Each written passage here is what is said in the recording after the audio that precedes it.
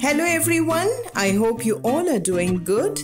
Welcome back to my channel Hilda Crafty and I'm your friend Hilda. Today we are going to turn small empty waste cardboard boxes into colorful, pretty and cute bird houses to pep our balcony wall. These will be ornamental and for decoration purpose. I'm going to show you three ways to do so and it's going to be real fun. And we will also be making pretty birds with cardboard. So without wasting any time, let's get into the video. Taking this box which measures 8 centimeters in width and 24 centimeters in height. This box is little damaged. You can even use this type of a box Firstly, removing all the packaging tape and then using masking tape to secure the box. Now marking the center and then 6 centimeters on both the sides and then join these points with the center from both the sides. Then we will draw a line from the two points on both the sides. With the help of a paper cutter, we will cut on the marked lines to get something like this. Now to make the roof, we'll need another box of appropriate size and we'll cut two pieces and make the roof.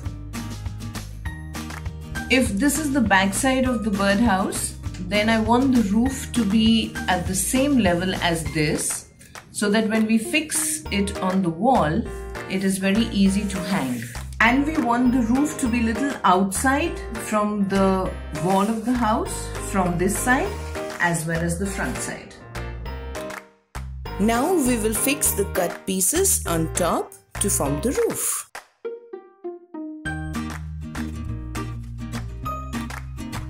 We will mark a circle and cut which will become the entrance and a hole for a perch something like this. Now we'll be needing a cover of a box for the base of the birdhouse. If you don't have a cover like this, then you can use a box and you can cut and make the base. Now to prime the box, we will use white gesso. You can use any brand from the market. I'm using homemade gesso. You can check my video for this, link in the description box and in the i button above. We will also gesso the base and the other two boxes and let them dry very well. For the first house, using Fevicryl acrylic paint with a sponge dabber for a good finish, leaving little space so that I can blend the two colors. Using a brush wherever required. I planned on using three colors for the wall of the house and this is how it looks. Now using my favorite teal blue for the roof and blended with little blue which I used for the wall. Thought of using a bit of teal blue on the wall as well just for some interest. Used both the blues for the base. Some easy and quick flowers but will leave the back wall as it will be covered.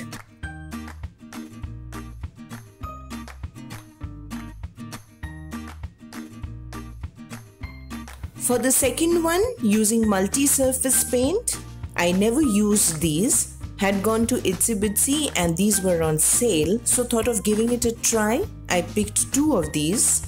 Good and easy application, quite like it. I think it will be good in bottles as well. The first color is Rose Splash and the other is Apricot Butter. Used apricot butter on the roof as well.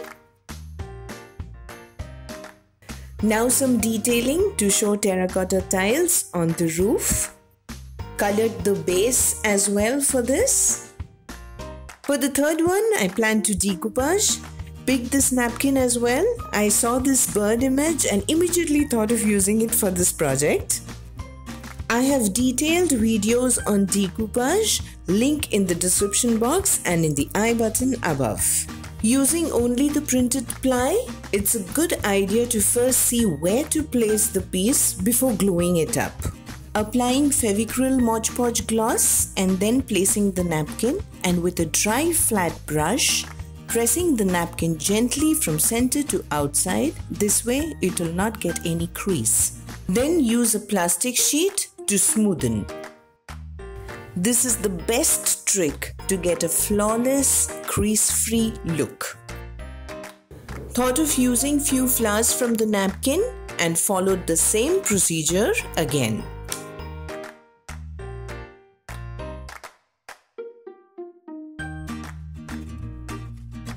Now to apply Mod Podge on the napkin to seal it well and then letting it dry completely. Now using Fevicryl acrylic paint to match the base color of the napkin, use three shades of green and then used white to blend while the colors were wet. I love blending colors and I enjoy doing so.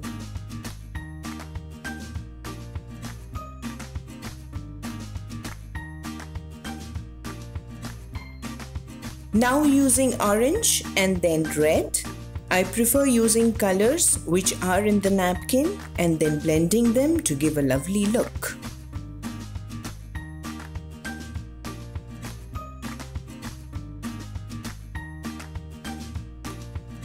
This is how it's going to look and I think it's already looking lovely. I've colored the bottom as well now for the roof, mixing a bit of brown in red and then use the brown at the edges. Painted some flowers in the empty space to match with the napkin and to complete the look. You can even use a corrugated sheet for the roof. This will also look very nice. I had thought of using a base for this house as well, but changed my mind. I thought it looked better without it. I left the areas uncolored as I had to stick and didn't want to waste paint. Securing the house from the back as well. Using a dowel and cutting it into two with an axe and use it as a perch. Now using ice cream sticks and cutting them into two, wanted one piece big and the other small. Making a fence for the first home We'll leave the back side as it will not show and we'll leave little part in the middle as well. Added water in pink as I wanted it light and then used little brown at the top. Using spray gloss varnish on these when the colors were absolutely dry, move your hand from one direction to the other for a good finish. After the varnish dries, we will embellish the houses and make it look more pretty added some hay and some artificial flowers for some interest. Used gloss varnish on these birds, drew a bird and cut two pieces and glued them, applied gesso, then used colors to blend and did some detailing on them, made two birds facing each other. You can add feathers if you wish fixing one bird on the perch and one on the roof. I had these and I'm using the small birds as chicks and they look so cute. I got these birds from Itsy Bitsy and I'm fixing one at the perch facing the chicks and the other on top and some artificial flowers. For this one, added few beads on the perch. It seems as if the mother is looking at her chicks and added a flower which was matching for interest. You can use a double-sided tape to stick or make a loop with a twine and use a cardboard piece or you can use a clamp and stick with E6000. I chose this area with creepers to place these pretty houses. Want to share that I started my journey as a YouTuber with a birdhouse video Link for that video in the description box and in the i button above. I want to thank you all for being part of my journey. I hope you enjoyed today's video. Do check out the description box to check out the items I used for this video. If you're new here, do consider subscribing.